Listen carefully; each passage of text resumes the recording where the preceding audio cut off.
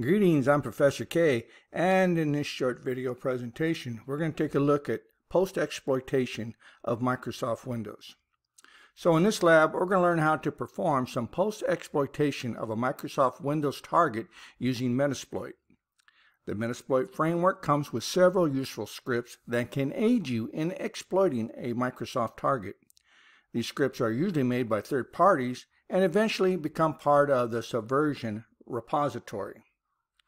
These scripts are to be used with a MetaPredator shell once the target has been compromised. Post-exploitation refers to the actions taken after a session is opened between the attacker and the target. For this lab demonstration, I will be using one virtual install of Kali Linux, one virtual install of Windows 7 Pro or Enterprise, and an established MetaPredator session with the Windows 7 target. We're going to begin this lab by establishing a MetaPredator session with our Windows 7 target. Now to do this, I'm going to be working out of my work folder. So I'm going to right click on the temp folder I have on my desktop. And from the context menu, I'm going to select Open Terminal here. Inside of my work folder, I have a script called handler underscore tcp.rc. So I'm going to tell Metasploit that when it launches, I want you to read and use the script that's inside of my work folder. So I'm going to go ahead and hit enter. So by running the script, I have established a listener on my Kali machine. Now I'm going to go over to my Windows 7 machine and I'm going to launch the payload that is going to complete the connection and give me that MetaPredator prompt that I need. So on my Windows 7 machine, I'm going to go to Start. I'm going to go up here to Computer and from computer, I'm going to go to documents and I'm going to double click my payload.exe. And I'll click run. And now when I return back on over to my Kali machine, you'll see that we do have a MetaPredator prompt. Now to be able to run these commands as system on that Windows 7 target, I'm going to need to elevate my privileges. Now to do this, I'm going to have to first disable the user access control on my Windows 7 target. Let's see how I do that. The first thing I need to do is background my MetaPredator session. Notice that I have a session ID of 1 assigned to that MetaPredator session. I'm now going to tell Metasploit to use the exploit windows forward slash local forward slash bypass UAC exploit. I'm going to go ahead and hit enter. Notice that my prompt changes to let me know that I'm now using that exploit. I now need to tell Metasploit to interact with my MetaPredator session and run that exploit inside of that MetaPredator shell. Now to do this, I'm going to set the session to ID 1. Hit enter. Now my Metasploit and my MetaPredator session are both working interactively. And so to run that exploit up inside of MetaPredator, all I have to do is type in the run command and hit enter and we're back to our MetaPredator prompt. With the UAC out of the way on our Windows 7 target, I should be able to run the get system command and elevate my privileges to that of a system account. So at the prompt, I'm just going to type in get system. Hit enter. And lets me know that I'm now up inside of the memory of that Windows 7 target running as an admin. And I can show this just by doing the get UID command. So I've zoomed in a little bit on our terminal here so you can get a better look at what I'm doing. And so the first command that I want to run is going to check my Windows 7 target to see if it's running as a virtual machine. Now to do this, I'm just going to type in the word run along with the command check VM. Hit enter and it comes back and it tells us that the target is a virtual machine and that it is running up inside of a VirtualBox. The next post-exploitation script that we want to run is the get countermeasure script. So with this script, I'm going to check the security configuration on my Windows 7 target. Now once I've done that, I can determine if I want to disable the Windows firewall or if I want to just leave it as is. So at my MetaPredator prompt, I have typed in run space get countermeasure. I'm going to go ahead and hit enter. And it comes back and lets you know that currently the firewall on my target is enabled. Now it tells you also how to disable the firewall if you so desire using the netsh command and we're going to see how we do that next. For this Windows 7 target I'm going to use the depreciated command for netsh firewall. So I'm going to type in at the prompt netsh space firewall space set op mode space mode equals disable. Now let's take a look at my firewall currently on my Windows 7 machine before I run that command.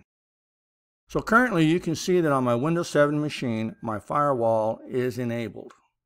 Let's go ahead and minimize this. And back on over here at my Kali machine, I'm going to go ahead and run the command just by hitting enter. But I forgot to do something. I forgot to drop down into a shell first. So to run netsh onto a Windows machine remotely, I have to get into a shell first which is the command prompt on the Windows 7 target. So I'm going to type in shell, hit enter. Now I can run that command. So at the prompt, I'm going to type in netsh space firewall space set space op mode space mode equals disable. Let's go ahead and hit enter. And it comes back and it says OK. Now if I go on over to my Windows 7 machine, I should see that my firewall has been disabled. And it tells you that turn on the Windows firewall, the firewall has been disabled. All right, so that command does work. So to get back to my MetaPredator prompt, I'm just going to type in exit. And we're back. Our next exploitation script is going to allow us to have a remote desktop connection with our Windows 7 target. Now to run this, at the prompt, I'm just going to type in run space get GUI.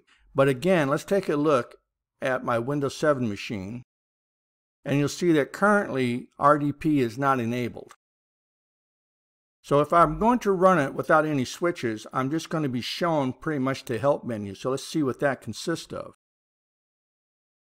And it tells us that to enable RDP, I can add the dash E switch. So I'm going to bring back up my prompt here give it a space, and I'm going to type in dash small letter E, and that's going to enable RDP. I'll go ahead and hit enter. And it says enabling remote desktop. RDP is already enabled. Setting terminal services service to startup mode. The terminal service service is not set to auto, changing it to auto. Opening the port in the local firewall if necessary. Now, what's cool about this is that you also have this cleanup script that you can run that will set everything back to the default as it was before you exploited the machine with the get GUI command. And so once we have enabled RDP onto the remote target, we can bring up a new prompt. And at the prompt, we can type in our desktop space, the IP address of the remote target. So I've typed in our desktop, which is a default program that comes with Kali and I've given it a space followed by the IP address of my target. I'm going to go ahead and hit enter, give it a second, and there is our remote desktop. Once you have completed your reconnaissance and you've gathered whatever information you wanted off of that Windows 7 target, you can now return to your MetaPredator session and you can just highlight, you're going to copy that script and you're going to paste it at the MetaPredator prompt like so and you're going to run it. And once you run it, it's going to perform the cleanup and put everything back to a default. Now, another script that can be very useful in post exploitation of a Windows 7 machine is disabling the antivirus. So to do this, we have a script called killav. Now I'm going to go ahead at the MetaPredator prompt. I'm going to type in run space kill AV. I'll hit enter and it says it's killing the antivirus services on the target. KillAV script has a large number of known antivirus programs that it can associate with and disable, but not all. Some antivirus programs will have to be disabled manually using the task manager on the remote target.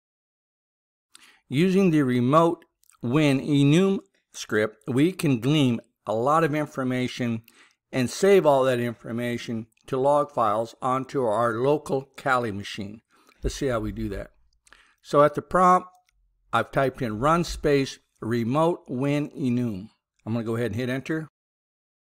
So to get this command to complete successfully, we also have to add a user account, a password, and the IP address of the target. So let's see how we do that.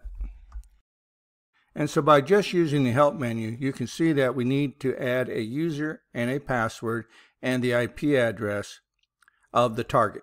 So at the prompt, I've typed in run space remote win enum space dash small letter u for the user. And in this case, I'm going to be using the IE user account. Give it a space dash small letter p, type in the password for that user. Give it a space dash small letter t, the IP address of the target. I'll go ahead and hit enter. Once the command completes, you'll be able to go up to the saving the report location and you will have a log file for all of the following listed information. Now the next command we can run is called scraper. So at the prompt, I've typed in run space scraper. Now this is going to pull over even more system information to including the system registry off of our Windows 7 target. So you can see where the information is being pulled from on the target and you can also see that we're pulling over the the SAM database, and the entire registry from the machine.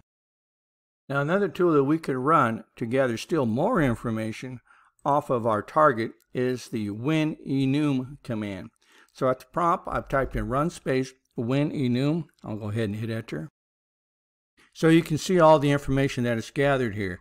So if you would like to look at any of this information, these log files that you have gathered, just open up a fresh prompt and you're going to grab that path that was given to you. You're going to type in CD as I did here, and then just copy and paste in the path, and now you'll be up inside of that working directory. You can type in ls, and you can see all of the different log files that have been gathered for you in the form of a text file.